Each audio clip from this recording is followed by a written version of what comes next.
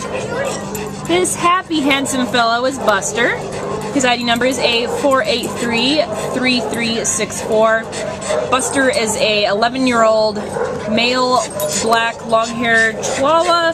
Now, it seems a bit big for that. Maybe a bit, there's a bit of Cocker Spaniel or something in there as well.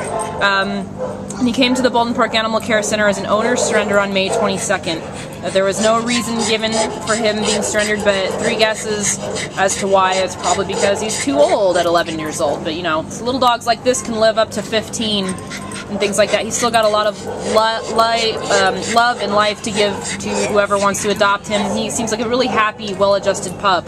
Um, he's a bit overweight at 21 pounds, so he could stand to lose a couple, um, maybe by uh, going for some long walks and and hikes as well, because he seems to still have the energy to do that kind of thing.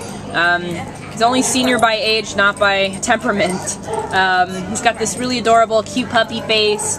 Um, he walks well on leash. He showed signs of being housebroken earlier.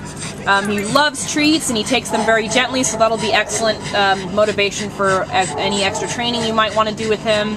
Um, and we had him walk up to a giant pit bull, and he was totally confident and happy about it. So we think that he would be excellent with other dogs, both big and small. And he's just really well adjusted and well rounded, a good plug and play pup. Um, seems like an excellent dog to sit on the couch with and watch football or something too. Uh, he's got this excellent medium energy that'll just be perfect for any household.